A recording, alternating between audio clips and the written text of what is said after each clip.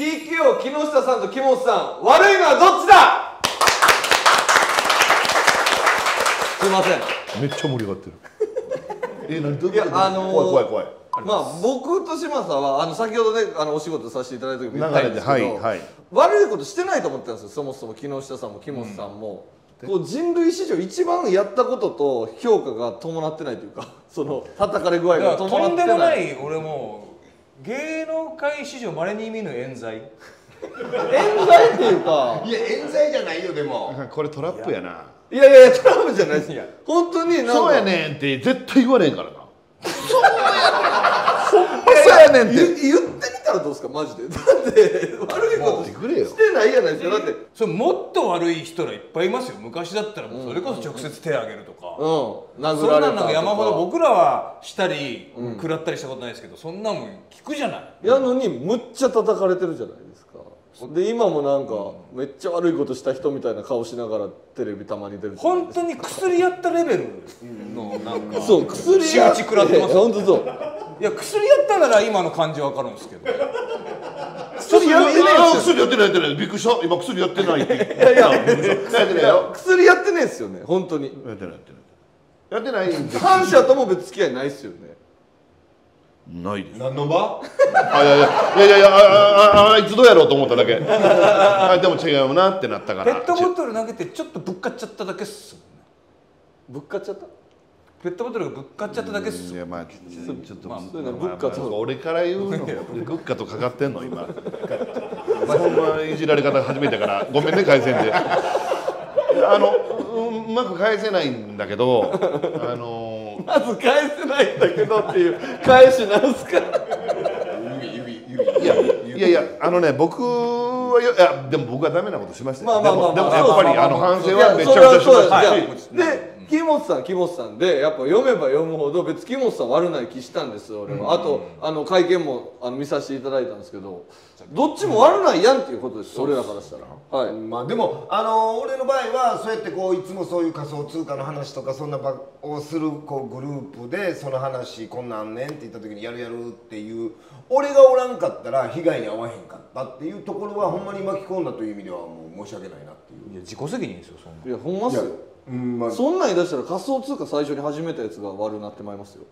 でもそいつおらんかったら俺こんなんならへんかったんやけどね。いやいやあかん危ない危ないあかん。じゃあトラップや違いますよトラップにすぐ乗っかるや。んそれはあののノリってあるこのサラウンドやばいよ。いやだからダイナマイト発明した人はだってノーベル賞みたいなことやないですか。でもそれでどんだそう最初にやったやつが悪いみたいになっちゃいますよ。でまあ使い道がそうそうそうそううそうそう。それでいうとペットボトル誰が作ったんやってなってくるからな。それ全然ちゃいますよ。いやどうどうダイナマイトどから味方なダイナマのイト投げたわけじゃないでしょだって。ダイナマイト投げたとかペットボトル投げただよだけってだからどどっちっていうのはどっちが悪いん？じゃあでもどっちも悪いと思う自己自己的な部分。どっちも悪いですか？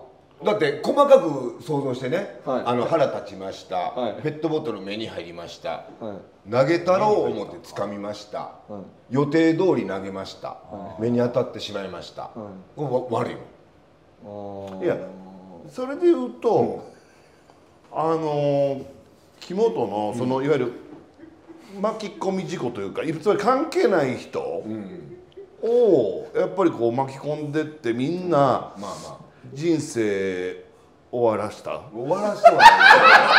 終わらしてはない。あのー終わってないから。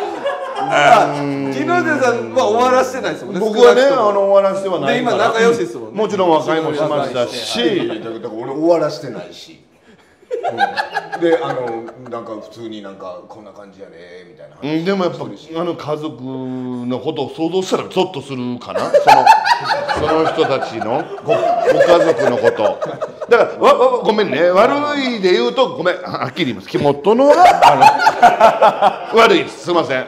はい。俺は悪いと思ってるよ。自分で悪いと思ってるけど、どっちかっていう話だったら、いやめっちゃ悪いと思ってるけどどっちがって言ったらやっぱり俺はもうやっぱり木下の。何ですかなんでなんでなんでなんでだってそのペットボトル高々とみたいな言い方してくれるけどいやはいまあ結局あれがあって、はいで松竹退所することになって、はいで仕事ドーンと減って、はいその俺の家族の気持ちとかって考えたことあるな確かに確かに非常に難しい問題やね次俺のターンでいくね。次いくね。はい。あのー、木本は俺を松竹に戻すって言ってたよな。な俺が待ってた待ってて。んすごいわ。そう赤坂のねあの喫茶店であの本当タバコ僕吸わないんだけどタバコ吸うエリアの方連れて行かれて何そのちょっと嫌な話。でもで俺が戻すからって、あの泣き泣いて泣いてた俺は、うん、ほんで俺はずっと信用してたし、ほんでいつ戻れんねやろっていうのをなたまに LINE したんやんか、そのいつぐらいやろみたいな。ほんで今ちょっとみんなと打ち合わせしてるし待ってや待ってや待ってやって、やめたやろほんで正直。何をくれてんの？二人とも今松竹じゃない松竹じゃなくなったのでやっぱ悪いのはだから肝とかなって思っちゃいます。はい、すみませんごめんなさい。は派い。生してますけどなんかねそうですね。最後にワンタンくれる俺にもうこれでじゃあそれ言うてなんかその悪い方向ばっかりに考えてるけどそれはもう申し訳なかった。それはもう謝るし、っていうかもう何回も謝ってきたから俺まだ言うねやと思ってる。そんなんはやめまし今後輩の企画やから言うてくれてるんで。でもまだ言うんやっていう感じこれそれはごめんな、思ってしまったから。正直に。正直それは思ったことやったけど。でもさ、正直に言うで、もう今やから、俺戻そうとしてて頑張ってたほんまに頑張ってたけど松竹戻す気なかった。それはどういうこと？それ別にどっちが悪いとか。ないですよ結果結果やん結果するになるほどまあ、うんか。んがあって大変やけどこうやって今コンビでまたコントしてツアー回ろうかって言って今コンビでできてるっていう意味で考えたらさ、うんどっちがどっちっていう考え方はもう一旦やめて、うんうん。俺ら今二人力合わせなあかんから、牙を向くべき相手はもうこいつらやね 俺らじゃないですけど。なんでこんな企画するんだよ いやいや僕はただただ二人は悪くないと思ってますって気持ち伝えたくて言っただけなんです。けどでも途喧嘩なんか中なんかブラマヨさんの漫才見てるぐらいすごみありました。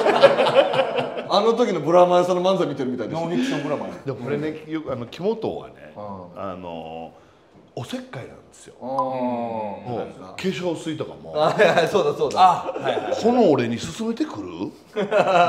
これええでって。でもええと思ったから俺にほんまにプレゼンしてきて実際良かったし。あで実際その周りのメイクさん全員にこの化粧水がええっつって周り全員変えたからねそれに。ああはいはい。それ書いてありましたねそれもね。転落に、はいそあバリブラシって知ってる？ううわあ電気割りぐらいですよね。はい。はい。あれあの語弊あるかもしれないですけど、あの僕はもうメーカーさんにもねあのはっきりと僕言えますけど、あれ一番最初に流行らしたの俺や電気割りぐらい嘘でしょ？ほんまにほんまに。もう今あれ割とさんみんな持ってますよ。割と最近ですかラビットで島さん買うてなかった買いました買いました。あれ一番最初に僕があのメーカーにこれ何ですかって聞きに行って本社まで行ったんですよ、えメイクさんに使わせてもらって。んですごいってなって、であのそれ購入させてもらって、でそれをもうメイク室で使ってたら「それ何ですか?」って言って「これバリブラシって言ってな」ってあ言って。でええ格好したいからその本社に電話して、僕がメイクさんとかに紹介したら割引してあげてもらえませんか？って言あってそれであの美容界の割引ってあるやんはいはいはいそれをなんか作っていただいて。えだからそうおっしゃってましたもんメイクさんも。普通にわ私たちメイクが買うとこれぐらいの値段なんですとかって。あれそう作ったのき木本さんというか一番最初はもう僕はもうこれ絶対僕なんですよ。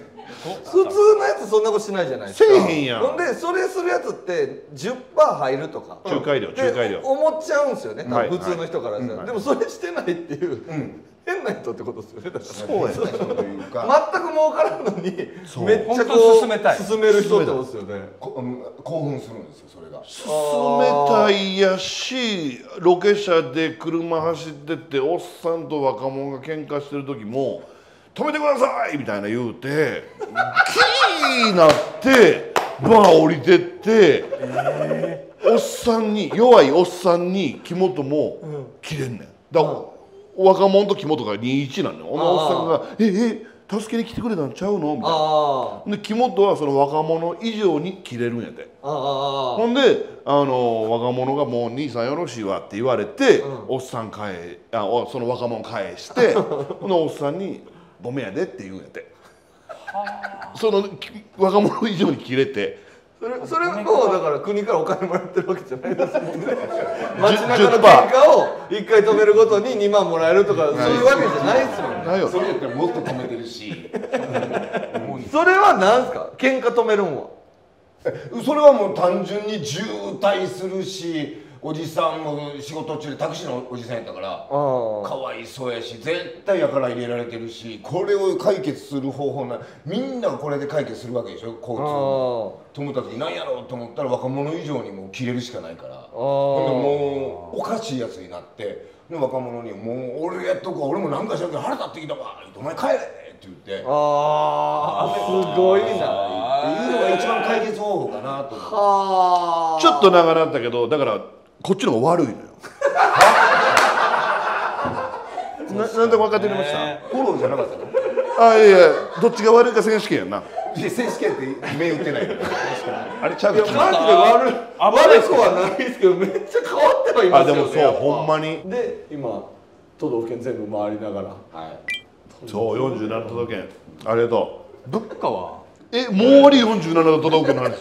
早っ物価に行くだいぶ前からもう物価のこと今物価どうなってるの？物価気になった？あ。りがとう。いやそれも嬉しいんだけどあのはい僕の物価部下という意味で大きい人用のブランドやらせてもらってます、これもだからペットボトルの不祥事バーッと出て、全く売れへんようになったよね。ああ一時期。それでいやもうしやっぱりょうがないよ。そらそれはなんかイメージもイメージやんこんなん。だってデザイナーがそんなことになったんでしょ。ああー。はい。ーでも今はまたあのその間もずっと休まずつ作り続けてたらなんとなくあのそうですね時がこう、はあ。ちょっとずつですけベースボールっぽい格好ってこどなんでポーンって言うた今？と投げる。よくこんな服作れますよね。なんでなんで投げた人が投げる人の服着ちゃうんですか？一番悪い。悪い選手権ちゃうじゃん。連想しちゃう人もいるかもね。一番今のい。らんですよやんねラガーシャツとかでよくないですか？な何を投げちゃう？ほんまや。それはやっぱ見事やわ。違うやん。見事やわ俺分からんないや別に投げるから俺はベースボールシャツを作ったわけちゃうで。キャップもあんまかぶんない。ペットボトルキャップと。キャップで。いやいやちょっと。別にキャップとえあまあ確かにな。あの今今ちょっと正直びっくりしてるほんまにこの着てきた自分に。自分に、作ったとしても作ったとしても自分にここに着てきたんやっていう。ほんまや。なやっぱ打たれ強い一軍っすよね二人とも。打たれ強い。いでも打たれ弱かったですよ。だってほんまっすか？だってもう本当まあここあれですけども、家も買ったんですよ僕。はそのそう不祥事ギリギリ前に。ああ。なでるほど。あのこっから払ってからみたいな。あそう。で犬もいるんでこだて買って、うん。友達な鍋パとかしたらええわと思って前に駐車場がずらっとこの前に置いて、うん安い駐車場やしみんな止めたらええわと思って、ほんですぐに不祥事になってえどうしようお金これ返していかなあかんわ。もう次の月から0円ですから、えどうしよう家買ってもうた。でその駐車場全員記者で埋まるんや。だから安いし普通車止めといたらあの言えるでしょ？通報。止めたかんって警察呼んだりとか。でも駐車場にちゃんと止まってるから。なるほど。全員乗ってんのよ車に。なるほどね。でずっと俺が出てきた瞬間ガシャガシャガシャもう記者のためにそこに住んでるみそたいなみたいなはなメンタルは正直めちゃくちゃやられたよぶっちゃけ YouTube 僕初めて退所した次の日に始めちゃったんですよ。これもどうやねんっていう話なんですけどああ YouTube に来んのかと芸能であかんかったらすぐにみたいなコメントがバーッと来てバッドが50万バッドまでいったんですよ。普通にかなり有名な話ねその増えていくのもこう「んん?」ってあるやん、これでもう8000とか増えんねんか。一撃で？一撃で。え？ちょっと待ってこれどうどうやったら止まんのやろうと思ってなんかもう Google の大きいコンセント抜きたい気持ち。メインの。メインの。シャットダウン。めっちゃめめっちゃ迷惑やねアメリカのどっかにある。ぐらいのなんかもう怖いもう毎日が。あやっぱちゃんと怖い。あもちろんもちろん。もちろんそ怖い。の時ってあの木本さんはどういう感じだったんですか？最初にペットボトルが行われた後というか、は。でやめはるみたいな時言って。僕切り抜きで喋ったらなんかすごいお伝えづらいんやけど俺怒ってて。ああええでそれ怒ってたんは投げたことはもちろんあかんことやねんけどあのそこに至るまでなんでもっとこうできひんかってんっていう意味なのがあって怒ってたら言いながらも絶対俺戻すからっていうラインはあー。打ってたんやけど、うん、でもなんかやっぱり急にその時それ以上に仕事が急にダーン減ってしまって自分も急に大変になってるね。テンパってるっていう状況やから何をどうしたらいいかわからん中で YouTube を勝手に勝手にというか急に始める。でそれでいろいろやって頑張らなあかんの気持ちも分かるっていう中で多分僕の中では絶対案件や思ってんねんけどそんな状況でお金ないはずやのにマセラティ買いに行く企画とかやりだす YouTube 中身も中身そのそのもう感覚が分からんとこの中でなるほど。なんか当時はそうやってややることになんでそうですそっち行くねそっち行くねなんかそう俺あれ外録チャンネル出てましたよあねそれあ見た。見させてもらった時に。なんか木本さんの思っとる感じと、木下さんの動きがちょっとずれとる、歯がゆさみたいな感じが、なんかもっとネタとかやりたそうやな木本さん、みたいな感じに見えて、ん。そういう感じやったんですね。でも当時ははねなんかねその時にほんま仕事なくなって、はまあ今まで決まってたものも全部なくなって、家に毎日おるようになって、それこそ記者バーおって、なんか家おってこのまん。ま老けて、あ俺一回の人生終わっていくんや、ああうん、あんなことも耐えてきたのに全部なくなんねんなって思った時に打席に立たなあかんわっていうのああまあそうっすよね。でごめん今またはいそう打席に立たなあかんわっていうんでなんかこう YouTube タイミング的に芸能人が参戦するみたいな時期やったから、もうカメラ前に置いて「こんにちは」とかやってたの。もうわけわからず。芸人ってやって怒られることって今までなかったじゃないですか。そういう努力じゃないですけど、動いて怒られるって。確かにだからその感覚ありますよね。多分家でこれしとるやつが一番悪みたいな芸人って、そうそうそう。それあったかもしれんな、でもこれ YouTube なんてない時やったら、ほんまに何もできへんかったよね。ああそうっすね。忘れ去られたりとか。忘れ去られて消えてあの人は今みたいなこと。なるほど。一発屋みたいなのがあってくるのよ今だいぶこうそれが、確かにな。いやでもその時代だったらそのペットボトルでこんなことになってない、そもそも。そもそも。ペットボトル投げどただけ。っちやねんどっちやねん。それは。いや俺らはだからこっちずっとこっちっす。あ本二人それはでもずっと俺は言うてくれるのを見てほんまにいろいろエゴサーチするんですよ。エゴサーチもそうやしいろんな芸人さんが言うてくれてるよっていうのを行くんですよ飛んで、それこそ番組もそうですし。ほんでニューヨークの2人はずっと僕らの話をしてくれてたもう何回も巻き戻して「あーはは」みたいな「またあーみたいな。もうそれがね嬉しくてなんて素敵なコンビなんやろうと。いやほんまほんま。ほんでやっと今日話せたんでこれも全て伝えれたんですごいそう嬉しい。っすね。いや、はすいません。だからどっちが悪いんかなと思ってこの企画やらさせてもらったんですけど、はいはいはいはい聞けば聞くほど二人ともただの変な人やったなって何やねんそれ。どっちもやばい。今日はあのニューヨークジャックっていうあのねあの X の番組から通して？半端じゃないです。ダメな二人。いやだダメージじゃないですけど、半端じゃないです二人は。どっちもやばかったってことですかね結論は。いや喧嘩止めキャラでいきましょう、ほんまに。YouTube 撮ってくださいよ歌舞伎町とかによる。喧嘩した人全部。あやりたい。あそれやあーやばろやってやって俺あのニューヨークのチャンネルあかん？それ。なんで自分のとこでやらへんの？やってくださいよ。ニューヨークのチャそのンネル。辺でね喧嘩しまくってるじゃないですか、確かにかしえ新宿で。怖くないですか？怖くない。い。すげえ。なんやろな全然大事な恐怖心なくなってますそれでボッコボコにされても、はなんか別にいいと思う。どういうこと？別よくにいいっねえっすよ。てそれで喧嘩が一個減るならこの世から。それで一個あのそう揉め事が落ち着くなら。あえただなんか「ありがとうございます」って言われたいねあ。あそれやな。俺は正もうまさにそこあのただのいいやつとかそんなんじゃなくてあの正義とかそんなんじゃなくてありがとうございますって言われたこれはすごいですね。それらはそうやわ木本さんがブレイキングダウンおったら全然思んないでしょ。やめろ。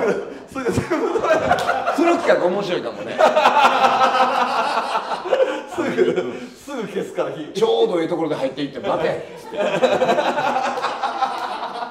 火消し芸嫌われるんだろうな嫌われるだけですよブレイキンダウンファンにファンで嫌われるちゃんとバットバッと大バットつきますすいませんありがとうございますいえこちらこそちょっと嬉しかったです TKO さんのチャンネルにもはいお邪魔させていただきますお願いしますありがとうございますありがとうございました